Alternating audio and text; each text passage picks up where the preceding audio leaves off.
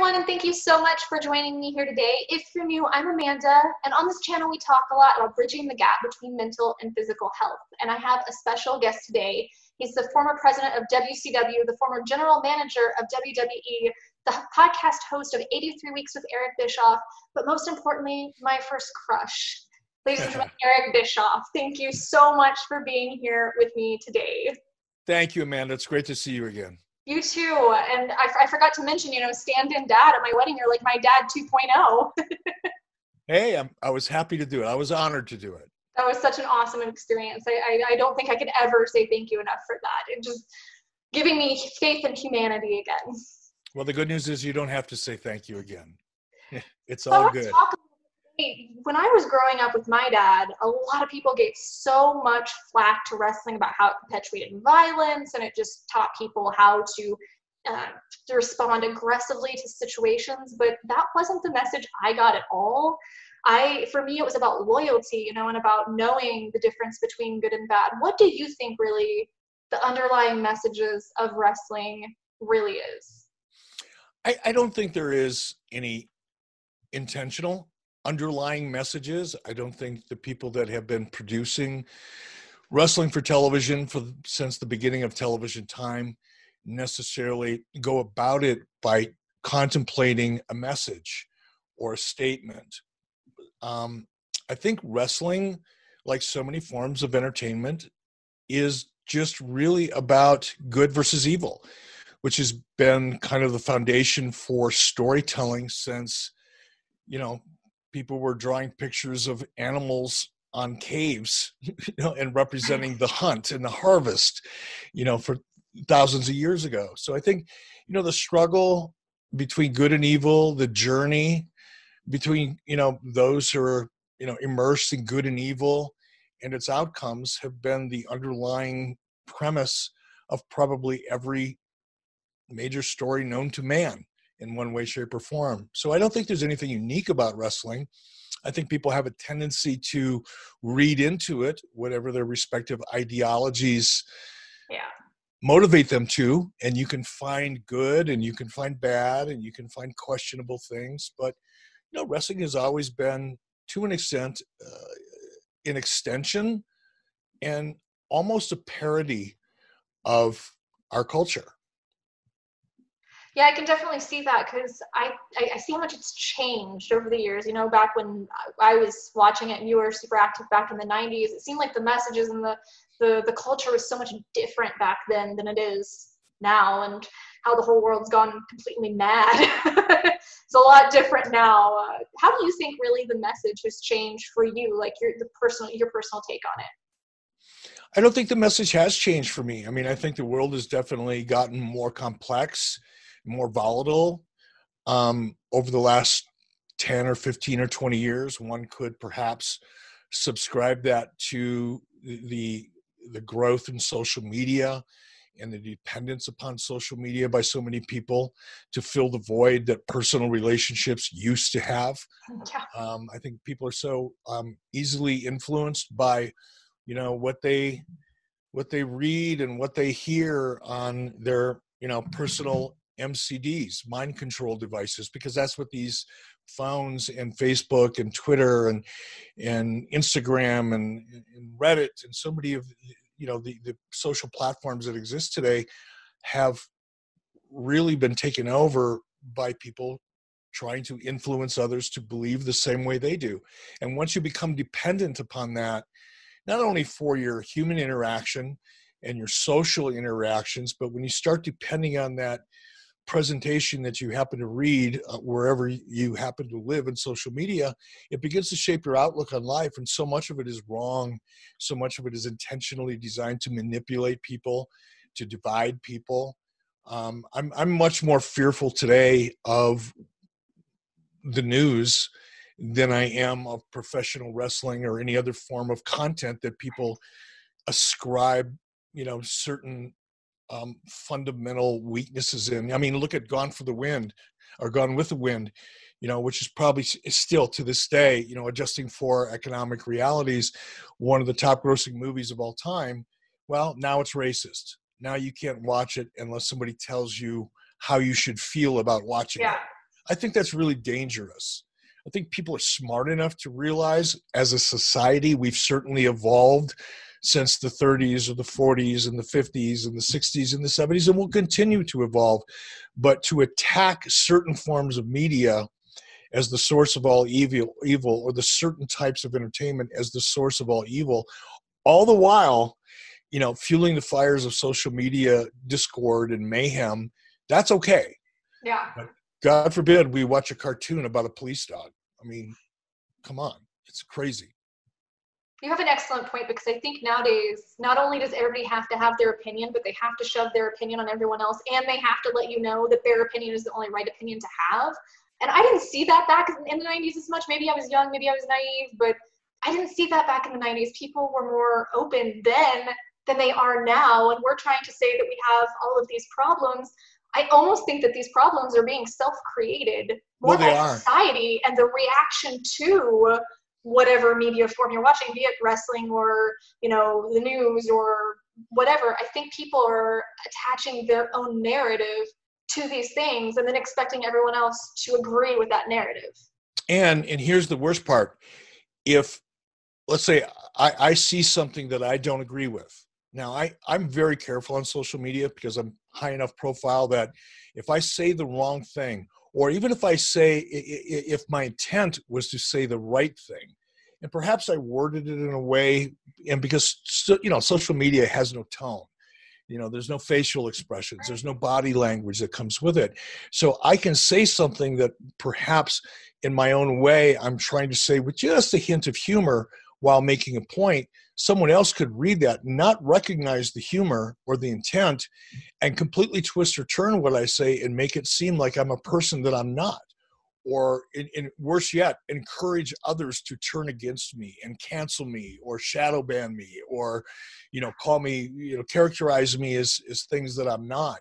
It's become such a violent and volatile world social media that you know other than promoting really positive things um i i stay away from it. It's too treacherous. People are too eager to not only express their opinion but attack people who who don't agree with that opinion. And we've now gotten to the point i've noticed over the last week or two if you happen to be someone who prefers not to engage because of the toxicity and, and, and just the nature and the darkness that social media represents and at every level if you choose not to engage well then you're stigmatized as someone who doesn't care Yeah, Or and you- that's or- really or- bothered me because I can't handle being all over social media all the time, especially with all this going on in the news. It just it gives me anxiety to think about things if there's nothing I can do about them. But then if I, like you said, choose to just say, okay, well, you know, if, if there's something I can do, I will do that. But I'm not gonna put a black picture on my profile and go on and on about how the president's terrible and everybody's terrible and everybody's feeling because that's not making any positive difference in the movement itself or otherwise, you know? No, and it's it, it- and it's unfortunate. And I try not to um, think too much or or allow my mind to wander and pay attention to conspiracy type theories or you know the, the the dark underworld of political machinations because it's just it's a rabbit hole that once I think you go down that hole, there's a chance you may never come out. Yeah. And so I, I, I stay away from that but I'm also a person, you know, I'm 65 years old. I've lived through a lot of stupid shit. You know, I, I grew up in Detroit. I was living in Detroit as a kid during the 1968 riots. I was 13 years old. I remember them vividly. Wow. I, re- I remember moments and incidents in my life back then. Uh, and I lived, you know, at 10 Mile and Gratiot, only two miles away from Eight Mile, uh, in, the, in in in the movie and the song that that Eminem made famous. Uh, we actually went to the same uh, elementary school at different times. oh my god, that's crazy. at the same to the same elementary school but you know i've seen unrest i lived not only through the 68 riots in detroit but you know i was pretty young you know during the vietnam protests but old enough to really pay attention and understand all the way through high school up until my senior year in high school actually um, and that was a very you know that was a dark time in our history you know the civil rights protests in the 60s while i was too young to really understand it very well aware of it but i i don't think there's ever been a time like this and again i'm not blaming the world's ills on social media. I think it goes much deeper than that. I think as a culture and a society and as human beings, we've lost our way so much that we have now become so reliant on hate. You know, I, I that it's it, it, it scares me because hate is starting to control things. You know, I, I tweet the one thing I did tweet when I was really struggling about a week ago. Um, I, I wanted to share how I felt, but I was trying to find a way to do it that was non offensive, regardless of however you feel. If you feel very strongly on either side of any issue, I, I try to find a intelligent, articulate way to share how I feel without alienating anybody. And that's really hard to do, by the way. Yeah. But one of the things that I thought about, you know, one morning I was sitting out on the deck with my dog drinking coffee and you know, it, it, it occurred to me that, you know, ignorance, the literal term, you know, the literal definition of ignorance, you know, lack of knowledge. Um, ignorance creates fear. I think that's a human condition. We're always afraid of things that we don't understand or things that we don't know or things we haven't been exposed to before. I think that's probably at its core one of the reasons human beings have been able to survive as long as we have successfully on the on this earth. We have critical thinking and judgment. But I, I think we've gotten to the point where ignorance, things that we're we don't understand or we're not knowledgeable in or comfortable with or used to, that creates fear, which in a way can be healthy because if you're afraid of something and you're rational, you'll do research yeah. You'll get to know whatever it is you're afraid of. You'll confront it in a healthy way.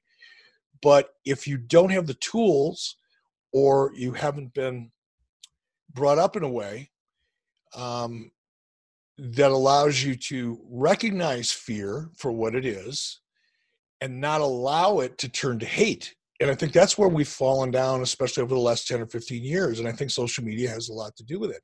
We've gotten to the point now where ignorant ignorance creates fear and, and fear automatically almost in, in the blink of an eye creates hate and and hate has become a commodity politicians use it on both sides all sides they all use it they all use fear fear is really a commodity. The news media exist wouldn't exist today without creating fear and stoking fear that forces the you know people to feel like they have to be more reliant on the source of their information and news in order to keep up to date and help them prepare or to have an opinion in case someone asks them or guide them in how to tweet the correct social media messages or imagery.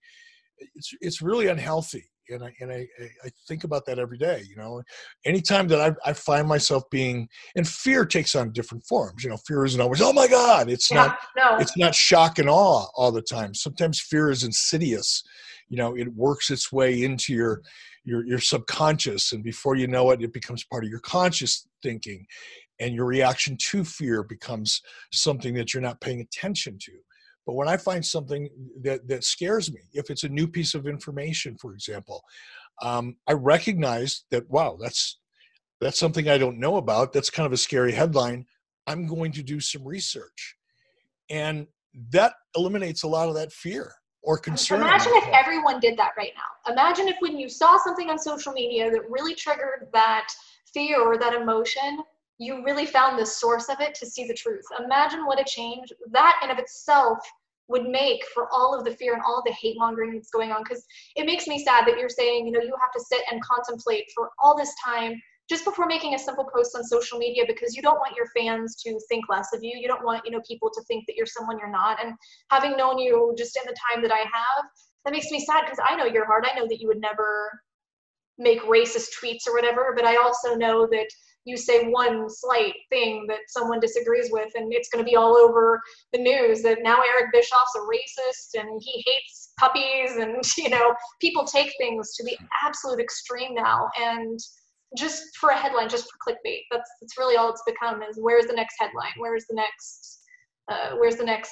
piece of fear that we can jump on to to get people on our side? And that to me is utterly terrifying. I agree with you. And you know, through the years, even when I was a kid, you've always been such a role model to me for perseverance. Just from your backstory, that you know, you climbed the ranks in wrestling and you dealt with criticism over the years. You dealt with, you know, people not liking you based on your decisions. And then, of course, when you turned heel and you joined the NWO back in the early 90s, and I wasn't allowed to crush on you anymore, and I was sad. I had to have my hidden little Eric Bischoff poster. But, but that has to be hard, you know, to have people dislike you like that or have people judge you like that. How did you deal with that criticism? Because I think that could be an important lesson for people to learn how to cope with those feelings. You know, I mean, that's a really, really good question. And if I if I allow if I allow myself to think about it in depth, I realize that while I was doing it, while I was playing the character of the evil boss Eric Bischoff, and I was working very hard to get people to dislike me because that was my character on television. I was playing the bad guy. I was the antagonist to everybody else's protagonist. That was my role as a performer no different than an actor in a movie who plays you know an evil character um, or, or in a book or in a television series it was no different but the, the difference for me was that you know i wasn't an actor playing a fictional character named you know joe blow. My name was eric bischoff and i and and I, my character's name as a as a bad guy on television was named eric bischoff. My real job was president of WCW, but my role on television, I was using my my position as president of WCW, which is the truth, to shape the way we were telling our stories.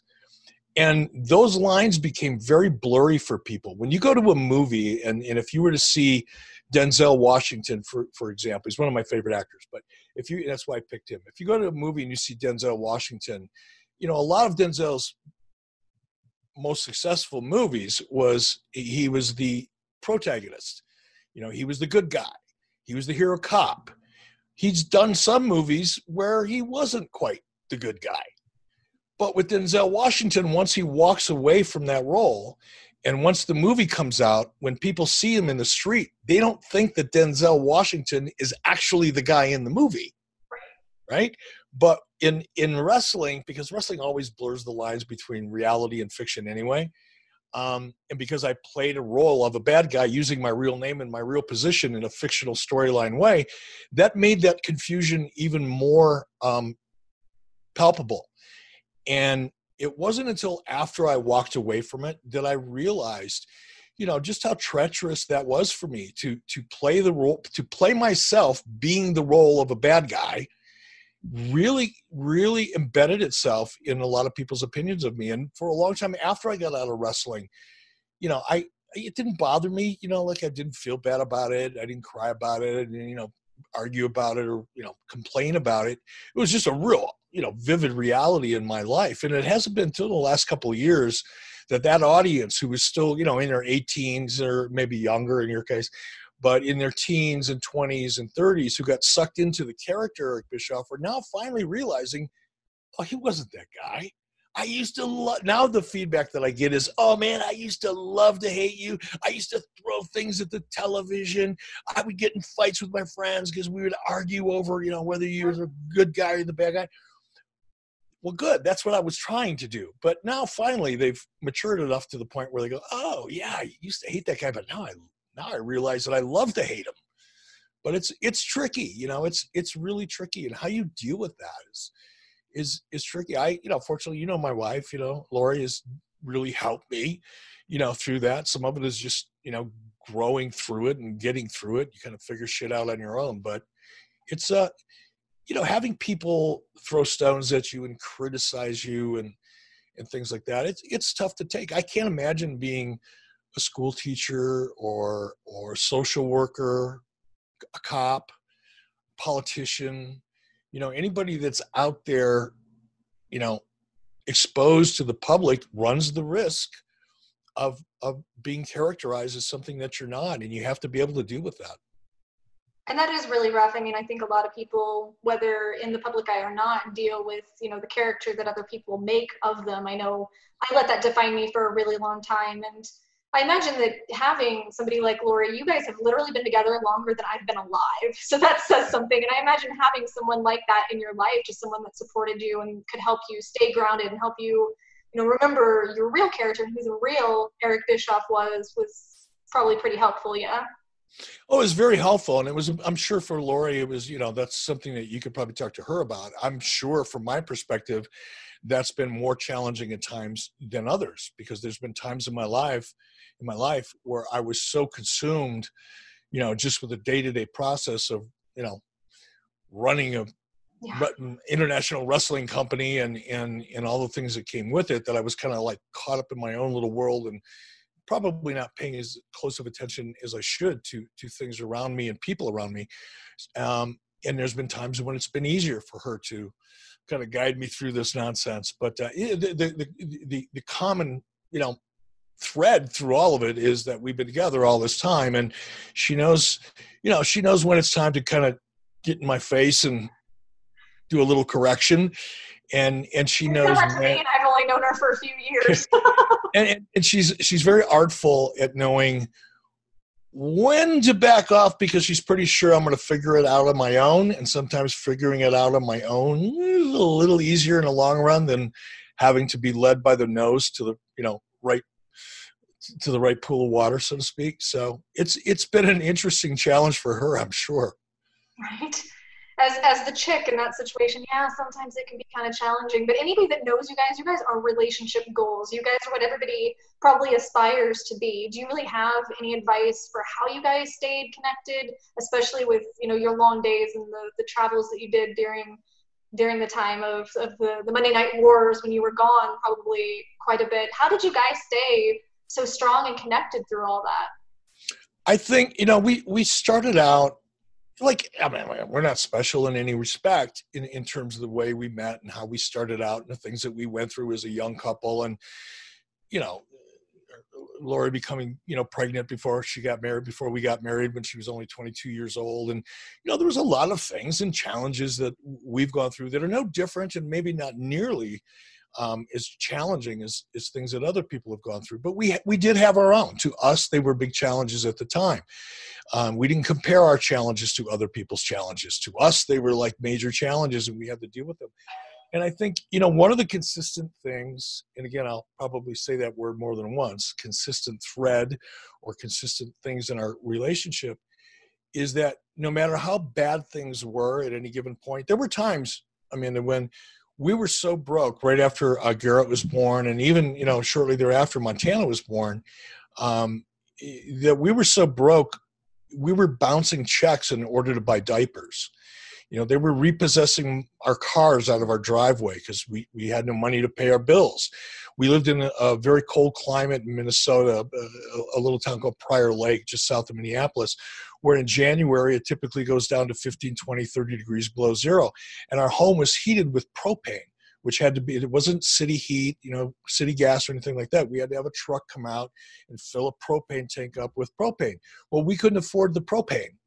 So, you know, the next best thing I could do was find a bunch of little camping lanterns that burned on kerosene, bounce a couple checks for them, and bounce enough checks to buy kerosene to heat our house, which, by the way, is really dangerous. So we we've gone through periods of time like that, but one of the things that we always did was make sure that on Friday nights we had a date night. And sometimes a date night was would be just going to a, a, a movie that we could afford. Sometimes it would just be going out for a drink or two or a bite to eat, even though we probably shouldn't have afforded it. We found a way to afford it. And we allowed ourselves to be a couple we we we called it dating. We continued dating. We still do. Um, our dating kind of changed a little bit. You know, it's not as much fun probably to the outside world as it used to be, but especially during a global pandemic. yeah. Well, uh, but I mean, the things that we enjoy doing together now are different than the things that we enjoyed doing together when we were in our 20s and our 30s or even our 40s.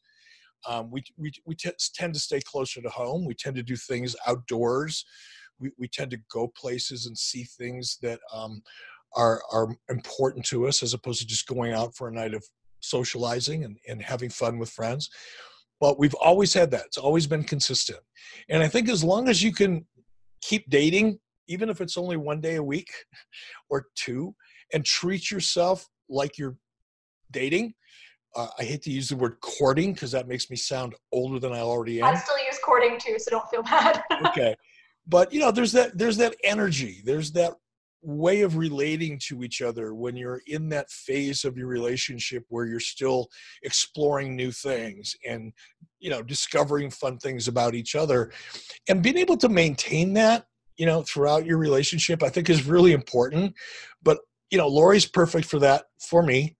Um, she's always seen and understood even if she didn't intellectually understand it she probably does more now because she studied it for so long but she's always been the type of person that that put a value on keeping a relationship a relationship and not allowing it to become a business relationship or not allowing it to become an adversarial relationship because you have such you know diametrically opposed views on any whether it's budgets or whatever else it is raising how you raise your kids or how you relate to family members or all there's a million things that can or the wrestlers you support.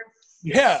So it's i i i, I attribute it all to loree Did I tell you that my best friend and I actually met because she was a big NWO supporter, and obviously I couldn't like NWO because I was the, the goody good girl. And we ended up getting this huge fight in the middle of English class, and I hated her guts to the end of days until I realized that she really had just done this because she liked watching me get all impassioned about now NWO is terrible and I hate them and they suck and we ended up becoming best friends. This happened in seventh grade. We ended up becoming best friends because and see, there, and, and see, there's a lesson in there. So next time somebody trolls you on social media, remind yourself of that girl in English class and just know that they're really only doing it because they have fun watching you react. Yes. Maybe you could end up being friends if you got to know each other and I will say, as a person that in my 20s, I did a lot of volunteer work. Uh, some of it was very controversial, like with Planned Parenthood and stuff, uh, that I, I really supported that organization at the time. And I loved nothing more than ruffling the feathers of the protesters just to get them all riled up because I was sitting out there, I bored, I had nothing else to do. And it was so much fun to watch these people get so riled up at the time. And obviously, I grew out of that in a, in a lot of ways. But I, I think that people do, they're almost addicted to the drama that they stir up on social media. And one of the things I learned as an adult, I think the best adult lesson I ever learned was there is nothing of freaking value in a comment section ever. You are never going to change someone's mind in a comment section on social media, you know? No, and that's another thing that I've really, you know, and I think the last couple of months, you know, between the COVID pandemic and and now what we're going through um, because of the George Floyd incident in Minneapolis, and as horrific as that was, and now the fallout from all of that is every time I told this to my son the other day, uh, our son, um, you know, every time I find myself reaching for my and I, all my stuff, I, I do it all here. You know, I don't spend a lot of time on on my desktop unless I'm working, but um, every time I find myself going, yeah, but that's not true. I'm going to tell them how I. No, don't. It's not going to do a damn bit of good. It's not going to do any good. And all it's going to do is create more of the kind of negative. I hate to sound like, you know, an 80s hippie or 70s hippie, but it just create it just adds to the negative vibe. You're just you're you're you're stirring more shit is yeah. all you're really doing.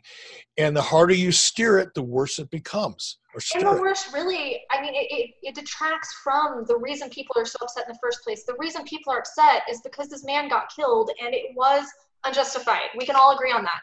But then now you're adding all this drama and all this hatred, which is detracting from that. And in no way are you honoring or trying to move this process or this this movement forward, in my opinion, at least.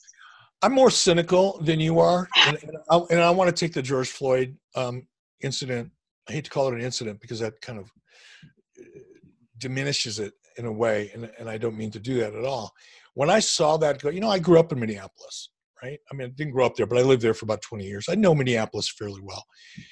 When I saw that, and, and I've seen a lot of negative stuff. Like I said, I, I, I remember vividly when you know the riots went down in detroit and martial law was you know the rule of the day and the tanks were driving down the streets and the army and the national guard were everywhere. I, I remember that. I remember seeing people getting shot while they're looting stores. I remember seeing tanks rolling down the street and leveling you know the barrel of the tank you know on a building and you know giving people a warning and if they didn't come out they would just level the building i mean i've i've seen it with my own eyes so it's not like i'm naive in any respect. Um, but when I saw that cop, that individual, he's not a cop. He just he was masquerading as one. But when I saw that individual kill George Floyd, he murdered him. Um, I couldn't watch it. There's very little that makes me go that makes me turn away and it is literally physically revolting to me. Like so much so that i, I have to look away because i can feel myself starting to physically react to it. That was one of those incidents where when i watched that the first time i saw it i don't think i really watched it through until about two weeks afterwards or a week afterwards. I just couldn't get myself to do it. But but that's an example of what i meant earlier. That individual that fake cop if you will who happened to be still be carrying a badge, was so ignorant that his ignorance became a fear, which became rage and hatred, and it manifested itself on, on, on a street in Minneapolis. It was ignorance that caused that. It was hatred that caused that. And now, what we're watching and witnessing are all of law enforcement being thrown into that same bucket uh, that's just so not right. And it's so dangerous. Now we've seen an incident where people came together to your initial point. Everybody agreed. Republicans democrats independents whites blacks hispanics native americans Asians. There's nobody that stood up and went, "Yeah, but maybe maybe there's another side to this story." Nobody oh. said that. No, not that I heard. But what's happened now because hate has become a commodity. The news media needs hate in order to create fear or to feed fear. it's a symbiotic relationship. The news media needs it, and they need it to, to keep people hooked and to keep watching their shit. And what's happened is now you've got not only do we have a racial issue that's probably more significant now than it has been since the 60s, really. Um, we've got police departments that are becoming divided. You've got not only Republicans, Republicans and Democrats divided. That's that that train left the station a long time ago. But now we're seeing indications that even the military is becoming divided and taking sides and taking positions publicly, which I think is really, really dangerous because I think it's the precursor for something much more significant and, and potentially dangerous for our culture and our, our country. As, as I keep seeing these divisions growing and kind of like a tree root branching out and attacking other very critical parts of our society it's really getting frightening. It's it's it's it's amazing and i and i i just think uh, it it starts with ignorance. It it it it's exacerbated by people's dependence on this. It it's compounded by people's ignorance because nobody wants to learn anything or read anything or develop an opinion based on a bunch of different source material. Everybody wants to read a headline and take a position.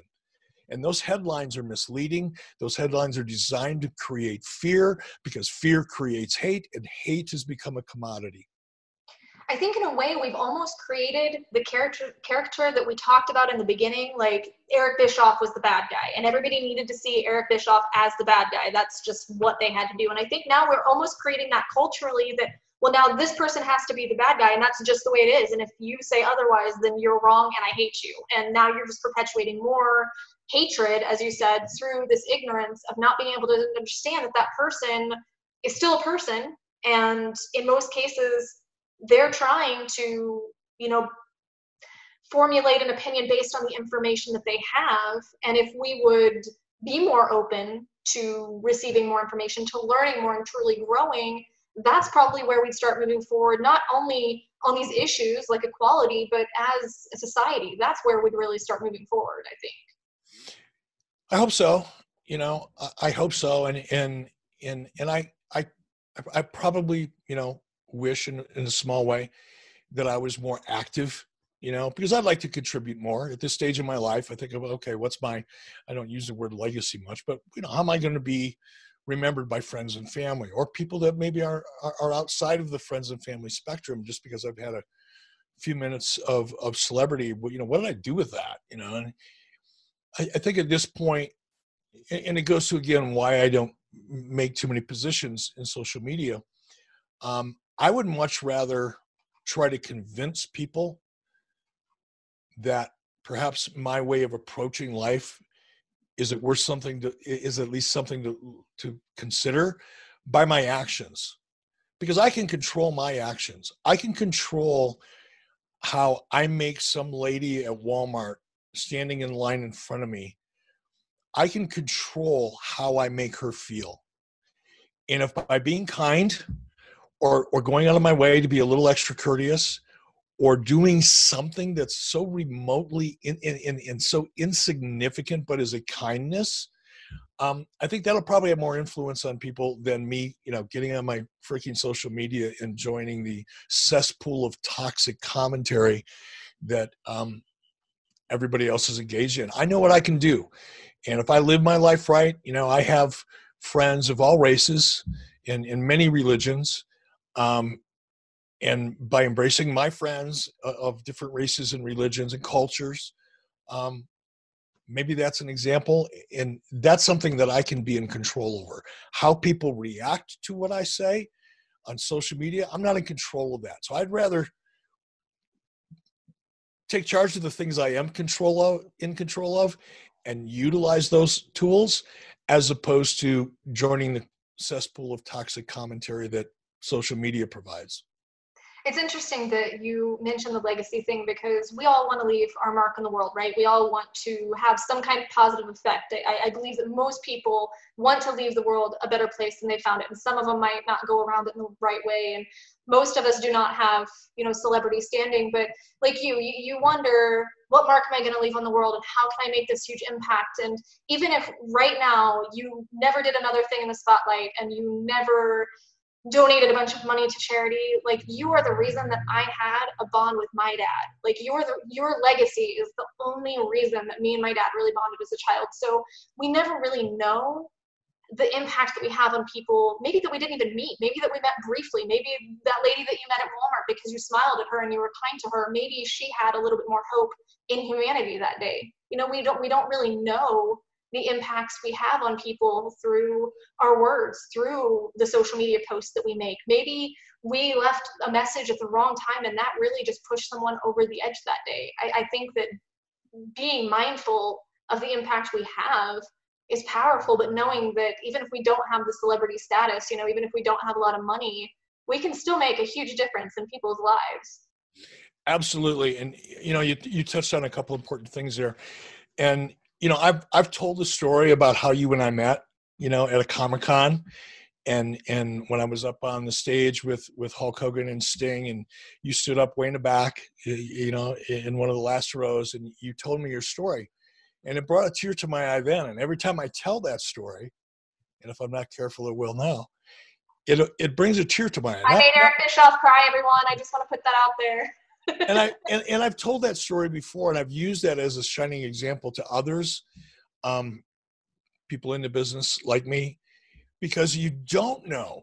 And and while I've never heard a story that struck me as much as yours did, I can't tell you the number of times that I've gone to autograph signings or comic cons or events of whatever whatever nature where I'm meeting the public, and I have people that are now in their 20s and 30s coming up to me and and sharing similar stories you know? I i was one of the only things i could bond with my parents or my grandparents or my brother or my friends. It was that one thing that we had. Or you know i was kind of an outcast in in in school and in junior high. And you know wrestling is the one thing that i watched that you know made me feel like there was hope for me you know and because i identified with you know a character on television. Well that's you know you don't know.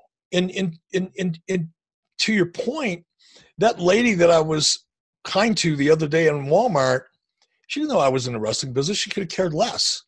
she didn't go, "Oh, Eric Bischoff, the guy from wrestling, was really nice to me today, so I have hope." I was just a guy standing in line that see that could see that she was struggling a little bit, you know, handling her groceries. She was an older lady, and she needed a little bit of help.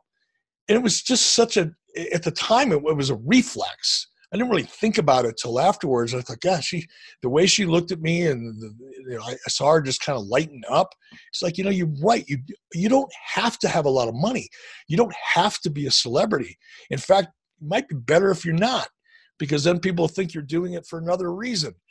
But I, I think if you just take the time to look people in the eye when you talk to them, you know, that's another thing we don't do a lot of anymore because we don't have to you know, now we all get to work from home, right? Saying, yeah.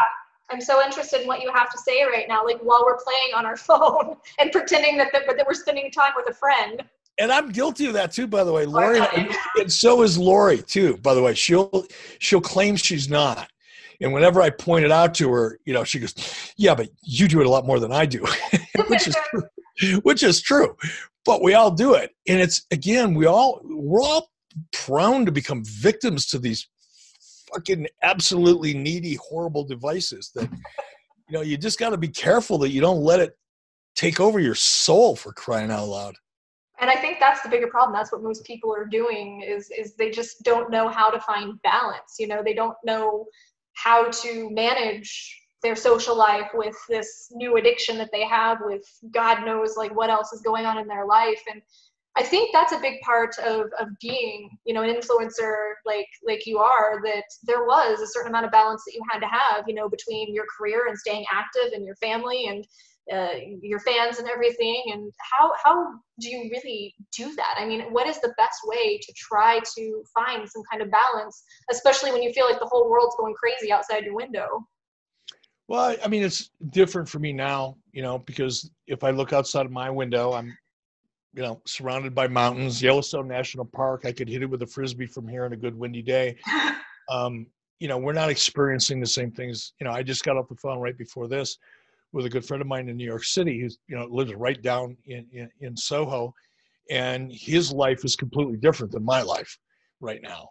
Um, and I, I understand that. But for, for me, it's easier now because I, I'm not forced to have to deal with it as much as I would be if I was living in New York or Chicago or LA. It's not in my face. My life is no really no different right now today than it was a year ago. It's just not. Um, but that's because of where I live. I live in a, the, least populated state in the United States. There's only six people per square mile throughout the whole wow. state. There's 500,000 500, people in the state of Wyoming. And the state of Wyoming is, you know, the size of Colorado, if not bigger.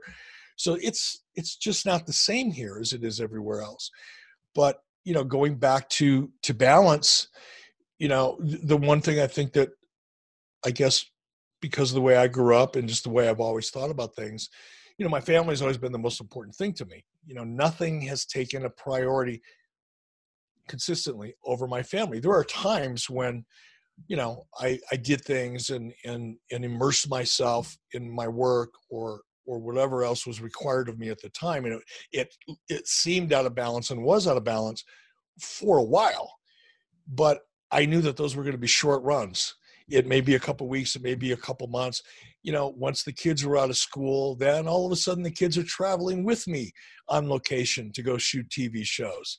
You know the kids and my wife and oh by the way some of my kids friends were coming along too so it was like a little you know caravan you know from the neighborhood and even though I was still working 16, 16, or 18 hours a day, sometimes seven, six or seven days a week, my family was there and a part of it to, to, to the extent they could be. So there, there were always ways to kind of mitigate the challenges for us, but it all started with a commitment to keep family first. I think that's something that gets lost in all this is people just lose sight of their priorities. They lose sight of what's the most important and they try to shove everything in all at once. And fa- they feel like they're failing at all of it because I mean, none of us because they've lost themselves. Yeah. Because they, what, what they've lost is the most important thing, which is what's important to you. What where are your priorities? Don't let them get lost in all the things that they that, that it can get lost in because there's a lot you know there's your job your you know your pressure from friends and family and society in general and the need to feel a part of something whatever that something is. Sometimes those some things are very healthy. Sometimes those some things are very unhealthy but we're driven by this need to be a part of a group and we don't really kind of delineate between is this a good healthy thing for me based on my priorities or is this just like oh this sounds like fun i'm jumping in or my friends are in this group i'm going to jump in that's the way i'm going to think that's the way i'm going to behave that's what i'm going to post on social media not because you really think that way but because you feel that way it's, right. it's it's and you and you feel that way and this is going back to the media again a while back a year and a half ago or so i did a, a tedx talk it's like a ted talk and i talked about how the media doesn't want you to think. It's the last thing they want you to do they're not going to give you two sides of an equation and allow you to come up with your own answer. They're going to give you the side of the equation that they want to use to make you feel how they want you to feel. That's the problem it, the news doesn't want you to think the news wants you to feel much like professional wrestling. Professional wrestling when we would write out professional wrestling we didn't want you to think about it. Crying out loud if you thought about it too much you'd realize how ridiculous it is right? But we did try really hard to make you feel because by manipulating your emotions and your reactions and playing in your emotional sandbox we were able to extract the kind of rela- the, the, the kind of reactions that we wanted so that we could make money off that. It sounds horrible but it's true. That's guess what? That's So what is the- the- yeah. and in today's news media does the exact same thing. They don't want you to think. They want you to feel. And as long as they can make you feel they can control you I actually watched that TEDx talk, and it was one of the most powerful TEDx talks I've ever seen. So I'm going to go ahead and link that down below, guys, as well as the 83 Weeks with Eric Bischoff podcast. Eric, thank you so much for coming on, being willing to talk to us today about all this. I want to end in kind of a flashback mode. So if you had to give a PSA, like you did back in the NWO days, if you had to give a PSA to America right now, give us your your your 30 second PSA here for America. Wow you're putting me on the spot and and without any chance to think about it i'll just kind of eh, eh, eh, make a derivative of what we just talked about. America you were born with a mind you were born with a soul you were born with a heart. Use your brain. Do not believe anything that you read here. Do not believe it. Question it. Don't let anybody make you feel one way or the other. If they make you think and it encourages you encourages you to read and to learn and to do your own research to, so that you can determine how you feel. That's perfect but don't let this nonsense control how you think or how you feel because it's it's it's false. It's not true. You're being manipulated Hey guys, I hope you loved that interview. If you did, make sure to give this video a thumbs up and subscribe to the channel for more celebrity interviews as well as other insights for bridging that gap between mental and physical health. Today, I have an extra special bonus for you. The day that Eric and I met was actually captured on film. So here is the question that I asked him and Sting, so you get an extra bonus at the Ace Comic Con back in 2018. Enjoy! No, I was her first crush. He was. He was She my told me first that. crush. She told me that earlier today. It made me feel so good. Um, gosh, now I forgot. Okay, so She said the same thing to me. "Damn it!" so, um, in in the height of WCW, when um everything was really big, I was only like seven years old, and my parents were constantly defending their decision to watch wrestling because as violent. But I felt I learned a lot about loyalty, and it gave me a good opportunity, like I had earlier, to bond with my dad. What lessons did you guys learn, like through your time as a wrestler? Like, what lessons did you learn through being a professional? Uh, one of the things I learned is is you know to try to t- treat everybody the way you'd like to be treated. And I'm not saying I treated everybody right because I didn't, but I learned real quick that you know the person that you mistreat one day could be the person that you work for the next. In this wrestling industry, that's the way it works.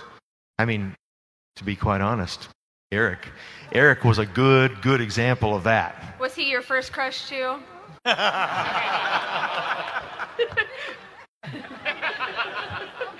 What are you doing later, Eric? I don't know, but we both like sushi. Oh, this is not turning out the way I thought it was going to turn out. That escalated. Talk about taking risks and stepping out of the box. Where were we? No, you, you were talking about. Oh. Treating people well. Oh yeah, what, what what what did I learn? Yeah, I mean it's just Eric. Eric was was somebody who one day was. Well, I mean, how did you start? I, I got a call from Jim Herd uh, to come in and audition because he wanted me to make Tony Schiavone and Jim Ross's life miserable. For some reason, he wanted me there to make them less secure in their job. That was, and he literally told me that. So I was the C squad, and I like I batted cleanup for the guy that batted cleanup uh, as an announcer. He uh, he showed up. I mean, this this Ken perfect Ken doll, you know, dark hair, about as handsome as they come, Mr. GQ, and you know, just prim and pro- proper with that microphone and putting it in my face and all the other wrestlers. And I thought, who who is this? Why is he interviewing us? I mean, he had so much heat from the beginning, and he didn't do anything wrong. He just had heat from the beginning, you know. But he's a classic example because he ended up running the company. He ended up being, I mean, second in command under Ted Turner, pretty much, you know. So. What about you, Eric? You know, I probably it all happened to me so fast. To be really honest about it, um, it, it it's I never really caught up to the position I was in, and I think I've learned more now after the fact than I really did then because I was it was like being in a, it was like being in a marathon, but it was a sprint pace for me. And now looking back, um, if I had it to do all over again in terms of taking away what I've wished I would have learned at the time was to be more patient with people and to be more open minded. Um, not that I wasn't open minded, sometimes I was too open minded and I listened to too many people and I tried to balance everybody's input and try to make the best out of it that I could. And that's not always the right decision either. But in general, I think I've learned to be more patient and be more open minded. Thank you guys very much.